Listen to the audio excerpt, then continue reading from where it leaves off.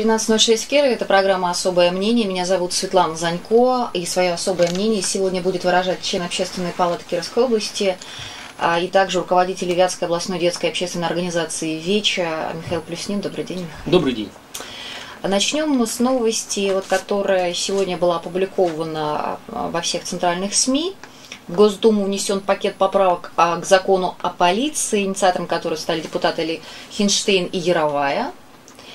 Значит, об этом сегодня и РБК, и Коммерсант написали. Что говорят авторы законопроекта? Он призван исправить неточности, препятствующие органам внутренних дел эффективно исполнять свои обязанности по защите граждан и общества от преступных посягательств. Всего более 60 поправок. В частности, например, такие. А, полицейских обяжут при задержании подозреваемого в правонарушении или преступлении сообщать задержанному его права и повод для задержания – а мы-то все думали, что это и раньше производилось. Да, а, значит, и дальше вот тоже очень интересно. Полицейских предлагается освободить от ответственности за травмы, полученные при задержании с применением силы, спецсредств или оружия. Также предлагается освобождение от ответственности за повреждение, принесенное имуществу во время обысков. Э, как вам нравится и как вы считаете, назрела ли действительно уже такая ситуация, что нужно вносить поправки? Ну, у нас, к сожалению, сейчас во многие законы приходится носить поправки чуть не сразу, как их приняли.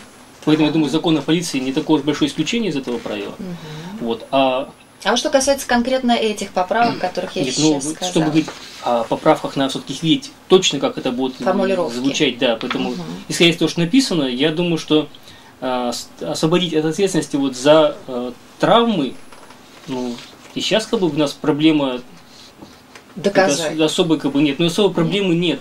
А, если полицейский, ну опять же, пресловутое дело Лузянина говорит о том, что пострадавший полицейский, он как бы всегда защищен, а если человек нанес травму полицейскому, либо если полицейский нанес травму при задержании обоснованно, то и раньше, соответственно, это не, как бы не, наказа, не наказывалось. А если на самом деле принять такое э, решение, что у нас человек, полицейский, нанес травму, и при задержании а потом вдруг выяснится, что он задержал человека неправомерно, то есть его что, освобождать при этом от ответственности, что ли? Поэтому тут вопрос доказывания, вопрос э, целесообразности этих поправок. Мы вспоминаем все те случаи, которые за последние годы просто огромным валом по, по стране собирались по поводу применения насилия не только в момент задержания, но и в момент допросов, содержания э, в СИЗО знаем. Нет, ну тут все-таки очень... Не кажется ли вам, что это, вот, в общем-то, достаточно э, такое неосторожное предложение? Да, какошно неосторожное. Оно абсолютно в тренде. Последних двух-трех лет законодательства все ужесточается со страшной силой. Ужесточается... В сторону ужесточается по отношению к гражданам Граждан, или конечно. по отношению к полицейским? Гражданам.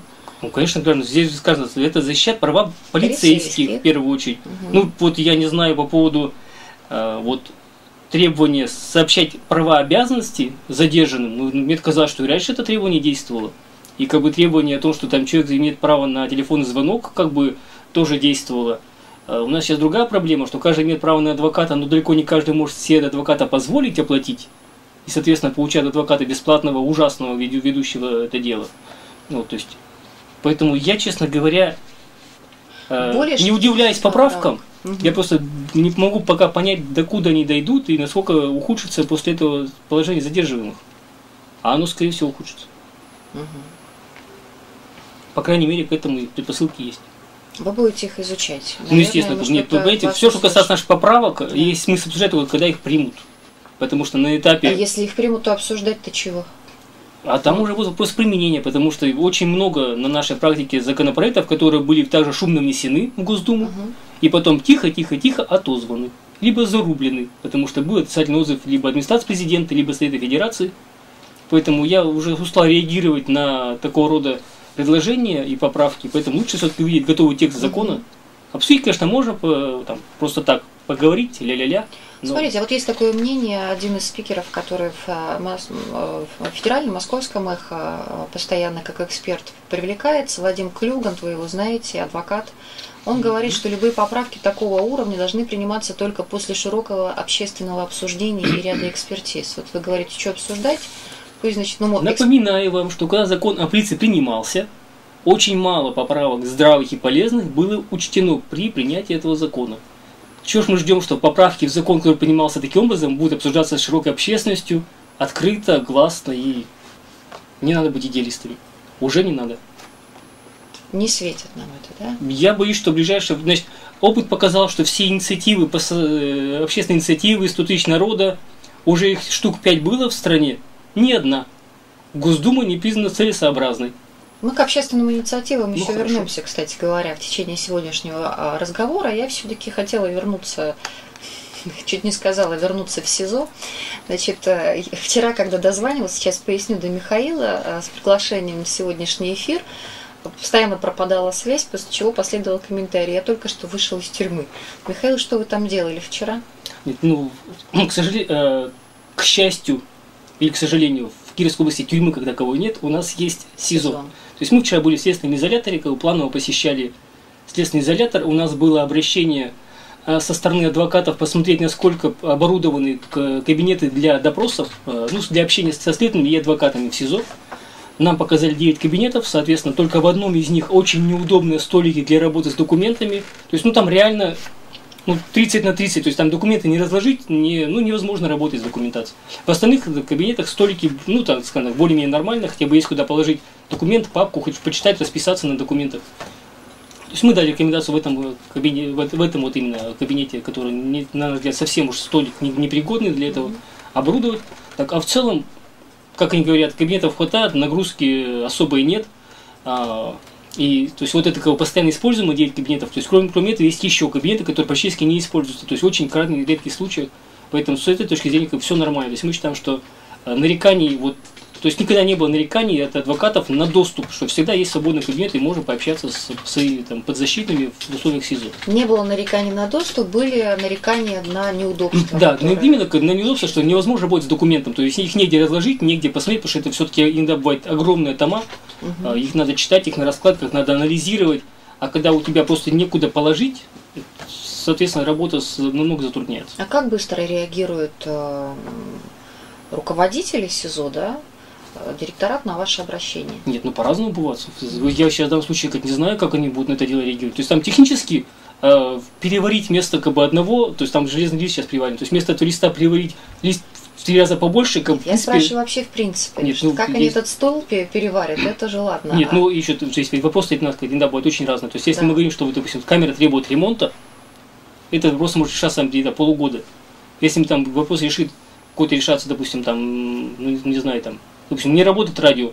Оно, скорее всего, будет строить в течение недели, это ремонтируют быстро. Меня сама процедура интересует. Вот вы сейчас предложение какое-то, или как это называется? Okay, ну, то есть мы даем, мы даем рекомендации. На рекомендацию вы направили а, в адрес руководства СИЗО номер один. Дальше в течение какого времени вы получаете ответ? то есть, ну, а, об, то есть обычно мы как такой ответ не получаем. Угу. То есть у нас есть такая э, журнал, то есть в каждом учреждении УФСИН есть журнал, где мы пишем свои замечания и рекомендации. Uh-huh, uh-huh. Соответственно, потом мы вот э, приходим и, соответственно, видим, как там э, отмечается, какие рекомендации выполнены, какие рекомендации, ну, в общем, что осталось без движения, либо, допустим, иногда допустим, пишут, что, допустим, там, не сделано, потому что, допустим, ремонт не сделан, потому что, допустим, плановый ремонт намечен там на такой вот период времени.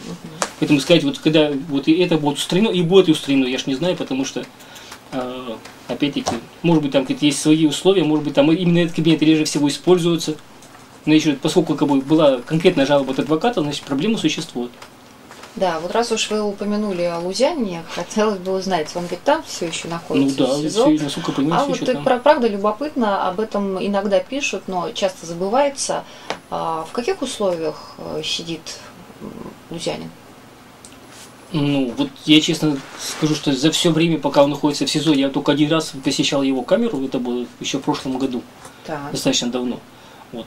Тогда условия были совершенно стандартные. То есть ничего там выдающегося, ни телевизора, ни холодильника, там, Говорили, ни, ни вентилятора. телевизор. Ну, в общем, вот сейчас, может, может быть сейчас, когда он обжился, но насколько я знаю, не, у нас администрация сезон не идет на то, чтобы родственники передавали э, э телевизор. Технику какую-то, да? Да, сказать, то есть, э, хотя, в принципе, по закону запрета как бы такого нет, и это возможно, но как бы у нас позиция такая, что, чтобы сказать, не, этого не было опять же, там, то есть под маркой борьбы с коррупцией, чтобы не заподозрили, что там вот ему ему занесли, соответственно, он, он занес какую-то сумму денег там, начальнику, чтобы вот ему поставили. Угу. Вот, то есть, и лучше пусть будет как бы хуже, но... Чтобы никто ничего да, дурного сказать, ну, не подумал. Да, да, вот как бы, чтобы уж никаких подозрений вообще не возникало со стороны э, там, по общественности, там, либо вышестоящего начальства. А чем занимаются вот эти люди, которые там вот, э, которых называют в СМИ, например, ВИП, да, заключенными? Да я обычно тем же самым, что все остальные. Читают, Когда у них пишут. есть э, судебный процесс, они к нему готовятся. Когда сам процесс на него выезжает, соответственно, день находится в суде. А когда процессов нет, следственных действий нет, сидят и как-то убивают время. Либо читают книги, либо Вот как слушают. в СИЗО номер один убивают время заключенные? Ну, все-таки СИЗО это режим, режим дня. Так. Это подъем, уборка, там, завтрак, обед, ужин и так далее. То есть, в принципе, все расписано. В свободное время, которое, сказать, а, а, определяется, у них можно поиграть настольные игры, можно читать, можно писать. Соответственно, каждый, кто-то просто ходит по, ну, скажем, старые сидельцы, то неоднократно сидят, у них эта привычка ходить по камерам взад-вперед. А, то есть как одна из форм э, активности. То есть все по-разному, честно говоря. А велика ли библиотека в СИЗО?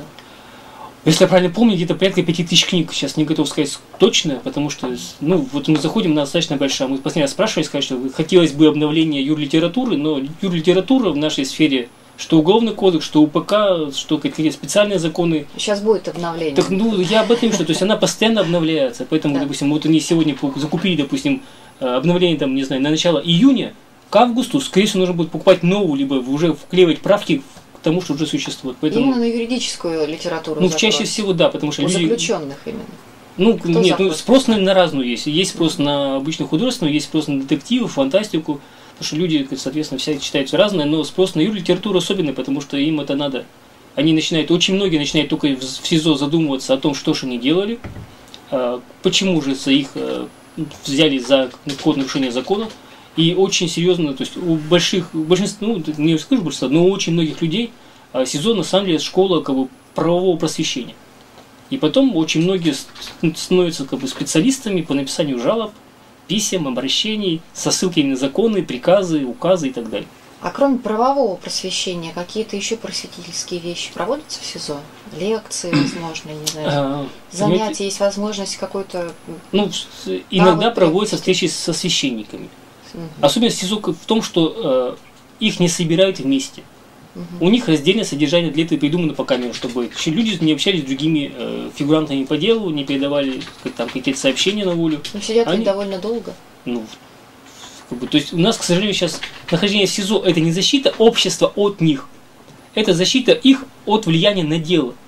Потому что если человека выпустить на волю, он дело может легко развалиться. А пока он там сидит, ничего сделать не может, дело как бы само собой идет к своему завершению. Человек в процессе находится. Да, человека как бы уже... судят. Да, а вот еще зимой очень много писали о том, что а, по сезону номер один, что, собственно говоря, ну давно ходят вообще эти разговоры о том, что нужно его закрыть, перенести, перевести. А как вы оцениваете этот процесс, насколько он перспективен, насколько близка перспектива того, что СИЗО уберут с набережной? Вот я боюсь, что это совсем даже не близкая перспектива. Потому что на сегодня как раз в очередной раз у нас стандарты оборудования тюрем, ну в смысле СИЗО и колонии меняются. А, и построить э, СИЗО нового образца по новым стандартам – это очень большое капитальное вложение. А как это должно выглядеть новое СИЗО по новым стандартам? Ну, внешне-то вы даже не смеете отличия. Угу. Просто там, соответственно, должны быть другие площади, должна быть несколько иная конструкция. А, совсем Большие друг... площади в каждой камере. Конечно, то есть все-таки мы сейчас стремимся к э, требованию 7 метров на человека квадратного. Вот, то есть, как, бы, то есть, ну, по факту, а, ну, а по факту у нас? Оно, не, по факту оно как бы у нас соблюдается. соблюдается. То есть, это есть даже чуть больше 7 метров, потому что людей в СИЗО мало, а лимит большой. Угу. Вот, э, то есть это соблюдается, но, соответственно, требования сейчас же рекомендуются, и как бы иные требования к устройству санузлов. Э, то есть, ну, вообще, то есть, как бы сейчас, вот, ну, опять же, если мы говорим, европейский опыт, у них там телевизор стандарт. У нас телевизор в камерах, вот на сегодня в СИЗО вообще нет ни одного телевизора.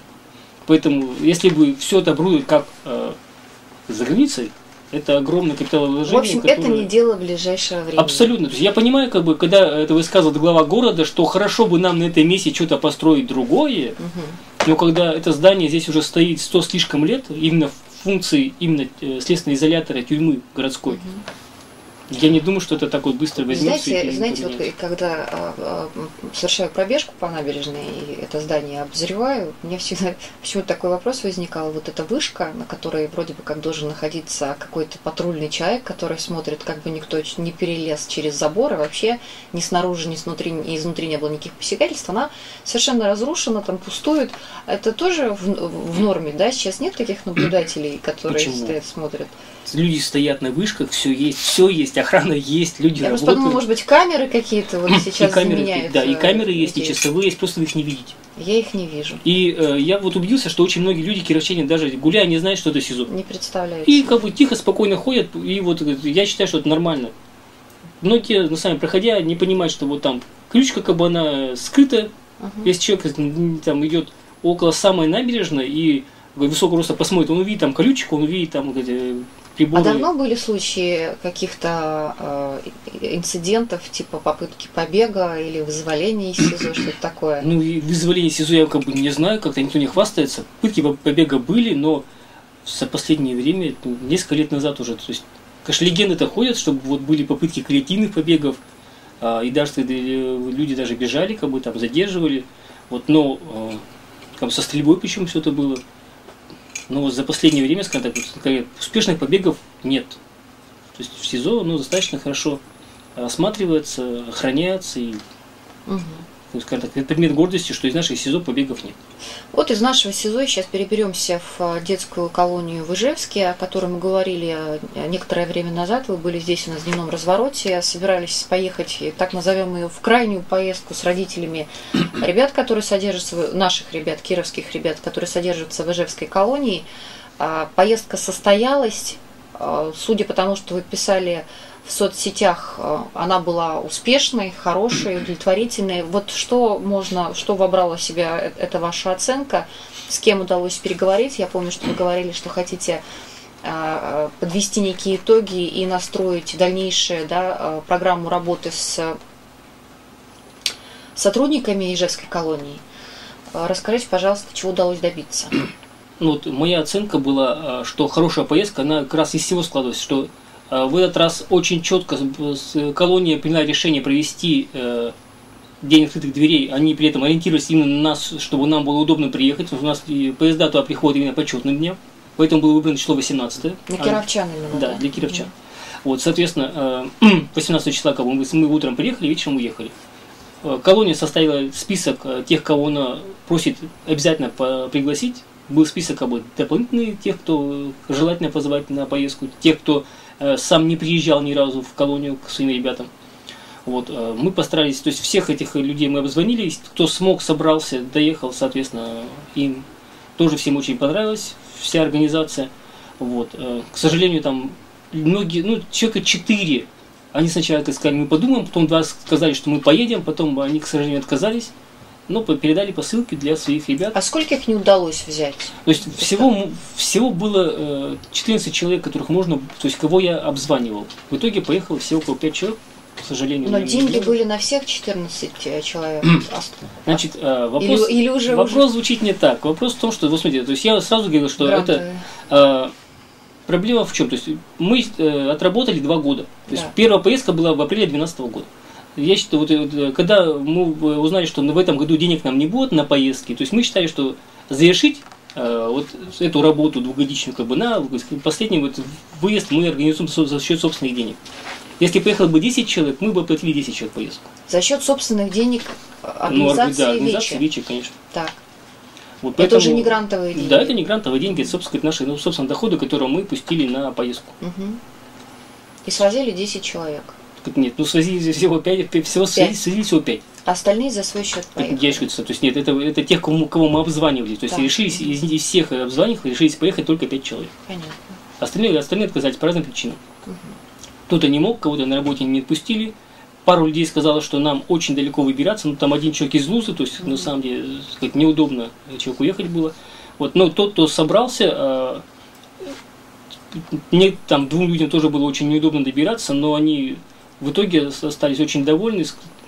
Ведь не только в том, что сама дорога, просто мы в процессе они познакомились, то есть перед, ними выступали и психологи, и социальные работники, и зам начальника колонии выступал. им дали все контакты, объяснили, показали, где что находится, они узнали, какие требования к передаче посылок, э, передач, как можно приехать на свидание. То есть сейчас они в курсе всего этого, знают, как э, дорогу знают. То есть на самом деле вот это как бы, практический опыт, он очень важен, потому что можно в теории сказать, что вот там есть колония, конечно, язык до, до куда угодно доведет, но знание вот этих мелочей, когда ты точно уже это прошел, понимаешь, куда ехать, вы сказали, что сотрудники колонии впервые подготовили вот такие, очень четкая была организация, подготовили списки, кого пригласить, они, наверное, опрашивали ребят, да? Да, естественно. Кого нет, ребята ну, хотели? Посмотри, как бы здесь на самом деле как бы списки вся посылаются, а вопрос в том, в том что здесь, как, здесь, весь, все, здесь просто в этот раз все сложилось очень хорошо. Списки пришли, как бы, я всех обзвонил, люди откликнулись, мы прекрасно доехали, нас там встретили, на машине доездили до колонии, то есть uh-huh. сам, соответственно, все очень четко организовано, все был замечательный концерт, очень душевная была атмосфера при вручении аттестатов. А, похвалили, то есть, опять же, как говорили многие, что наших детей за последние годы только ругали-ругали, а тут за один день мы услышали столько похвал, человеку там, и он и ударник, у него он, допустим, получил одну две специальности, допустим, специальность с отличием ему присвоили повышенные разряды по, по итогам там, годичного курса подготовки. То есть родителям было очень приятно, что так и ребята так хорошо говорят. Да. Ну и, соответственно, я по итогам тоже пообщался и с, с социальной службой, и с психологами, и с начальником колонии, и с какими заместителями, и изложил нашу ситуацию, как я себе это вижу. Для них очень непонятно, как можно эту работу не продолжать, которую мы так э, хорошо выступили. Вот по итогам прошлого года, как они говорят, их колония заняла первое место в соревнованиях между своими собственными колониями. Вот, потому что такого опыта, как у нас с регионом взаимодействия прочесть, нигде больше нет. Говорят, как бы, вот поэтому говорят, как можно рушить то, что мы так это выстраивали, выстраивали, как бы сейчас вдруг это все отрежем. Надо напомнить сейчас, кто не в курсе, а, как раз Вятская областная детская общественная организация ВЕЧ два года назад э, выиграла грант, два года подряд выигрывали грант, да, для того, чтобы ребятам, которые были переведены из Котельнической а, детской колонии в Ижевскую, наших, да, вот кировских ребят перевели, для того, чтобы родители, у которых низкий доход, могли ездить и навещать своих детей. Вот сейчас приведен пример, что некоторые нынче на вручении дипломов вообще впервые добрые слова о своих детях услышали за последние годы. И в этом году организация «Вечи» деньги на грант не выиграла. И это была крайняя поездка, дай бог, что действительно не последняя, когда а, вот по, по программе, которую вечер разрабатывала. Сейчас денег нет. А сотрудники колонии удивлены, э, наверное, да, тем, что, ну. тем, что прекращается эта работа. И у меня вот сейчас после перерыва все-таки продолжим еще на три минуты об этом поговорим. Какой э, режим, собственно, вы выработали, к какому пришли выводу и что будете делать дальше для того, чтобы все-таки весь этот опыт не пошел коту под хвост? Как искать деньги. Искать, искать деньги. Как искать? Искать и как искать обсудим. Продолжается программа «Особое мнение». Мы разговариваем с а, Михаилом Плюсниным, членом общественной палаты, и э, остановились на том, что денег сейчас нет, на то, чтобы родители э, необеспеченные, родители детей, которые содержатся, кировских детей, которые содержатся в Ижевской детской колонии, и дальше ездили на мероприятия в колонию. Э, вопрос был у меня перед уходом на рекламу такой, что теперь делать? Когда вот все только наладилось и вышло так вот четко работает – и сотрудники колонии довольны тем, как выстроена работа, и дети, и родители, и вы, и теперь вот денег нет, что делать? Ну, вопрос не совсем к нам. То есть мы со своей стороны вот сейчас проанализируем, что получилось, какие у нас итоги.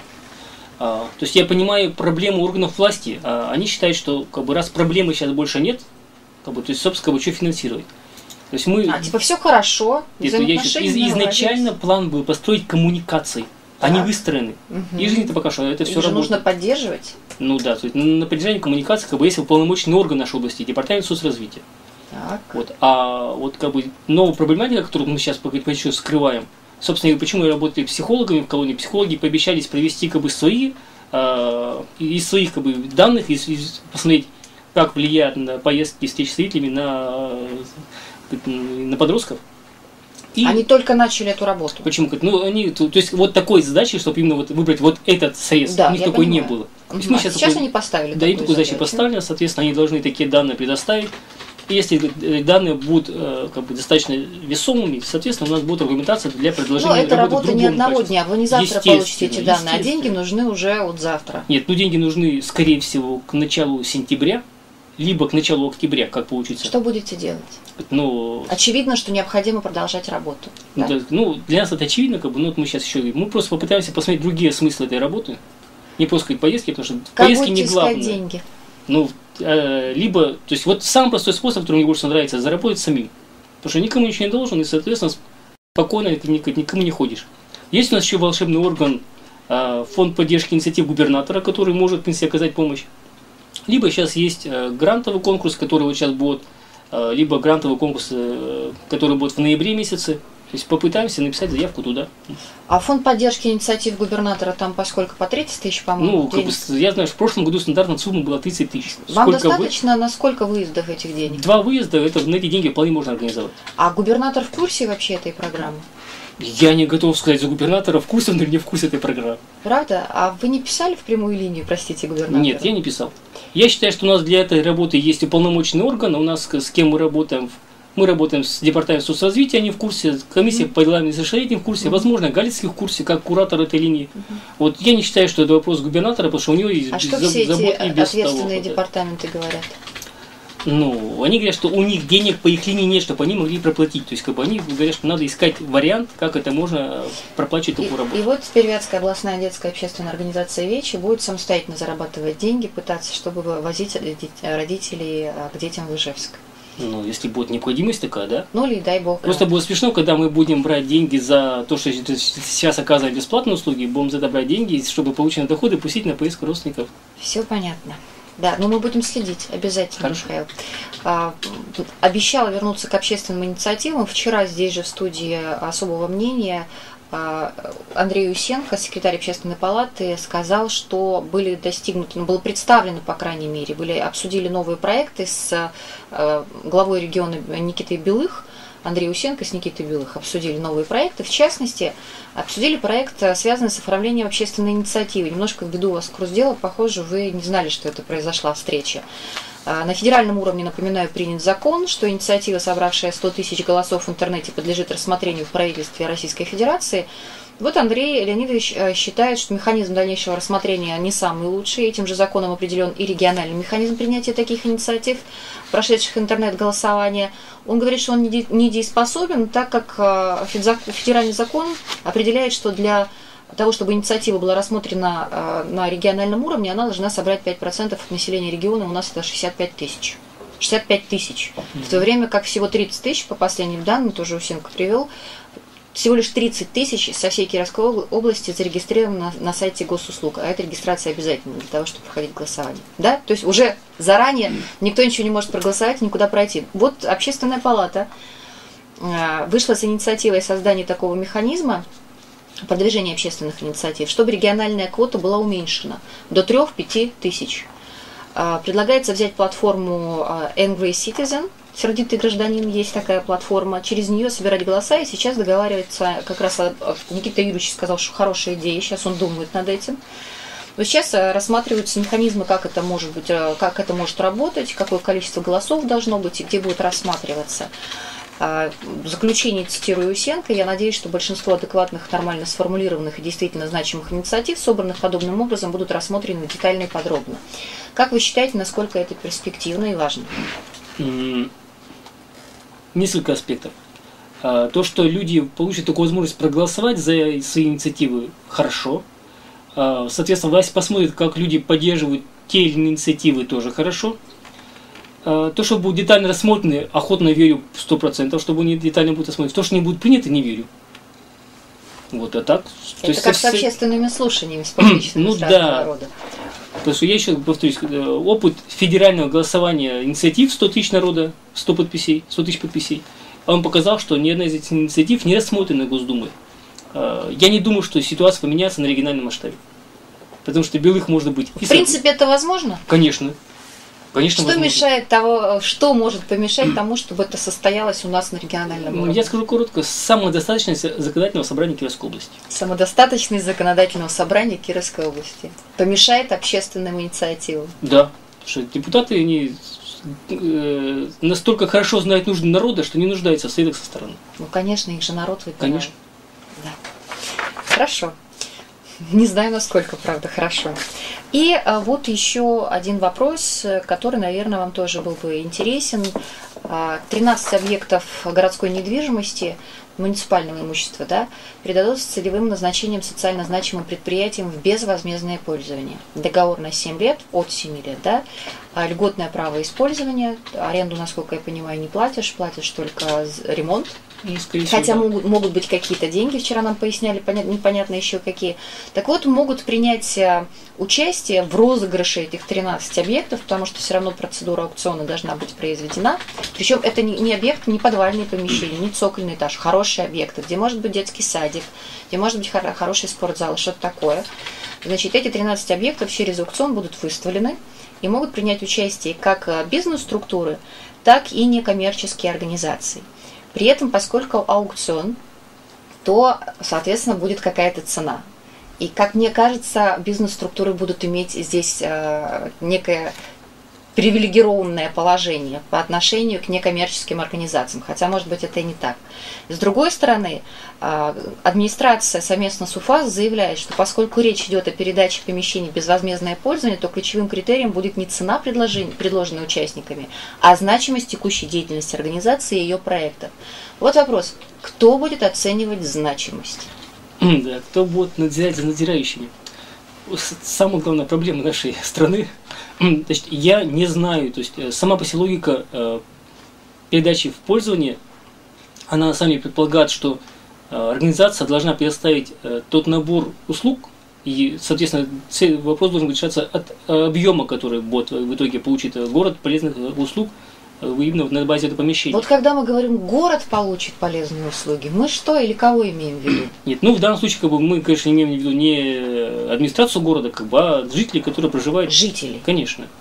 Потому что... А для того, чтобы получить, понять, что жители получат, наверное, нужно как-то изучить э, спрос. Нет, ну, Чего хотят как раз эти эта проблема, э, то есть какие запросы есть со стороны населения, администрация города себе представляет. Угу. Если какая-то организация собирается устроить э, получить это помещение, там сделать какого-то, не знаю, центр услуг, либо э, там зал, либо детский сад, организация должна сама изучить э, спрос на свои услуги. То есть тут понятно. Я просто боюсь того, что у нас, если договор будет там на 7 лет, вот я не знаю ни одной нашей некоммерческой организации, которая будет планировать свою работу хотя бы на 3 года вперед. Про 7 лет я вообще молчу.